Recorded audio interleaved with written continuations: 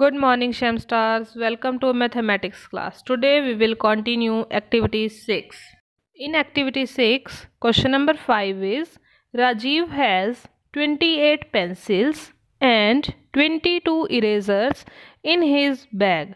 How many pencils and erasers does he have in total?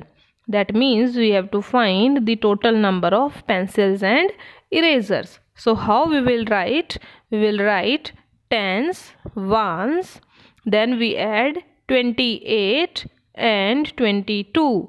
That means 28 plus 22. So we will start the addition from ones place. 8 plus 2 that is equal to 10. That means 0 will come on ones place and 1 goes as carry on tens place. Now we have to add the tens place. That is 2 plus 2 is equal to 4 and 1 carry. That is 4 plus 1 5 so the answer of this addition is 50 that means total number of pencils and erasers is 50 now we proceed to question number 6 my school garden has 46 purple flowers and 48 yellow flowers. How many flowers are there in the garden? We have to find the total number of flowers in the garden. That means how we will write? We will write tens, ones, 46 plus 48. Then we start the addition from ones place. That is 6 plus 8 is equal to 14. So we regroup 14 as 110 plus 4 ones. That means we will write 4 on ones place and 1 on tens place.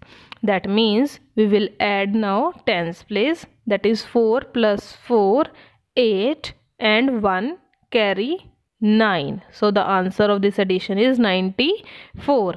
That means there are 94 flowers. Seventh question we are having Maria has 28 toffees and 36 chocolates.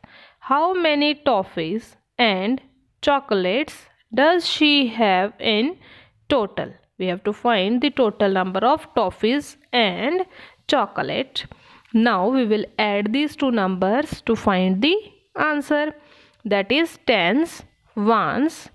We will add 28 plus 36 that is 8 plus 6 is 14 and we regroup 14 as 110 plus 4 ones.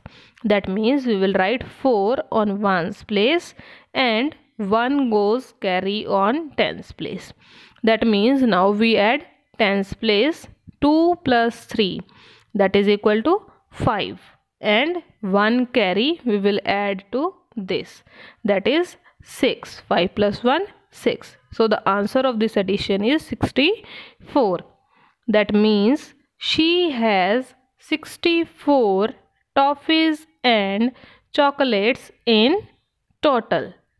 Now you have to complete question number 5 6 7 in your book as well as in your notebook. Tomorrow we will do subtraction of two digit numbers Thank you Shem Stars. That's all for today. You can drop your queries on Google Classroom.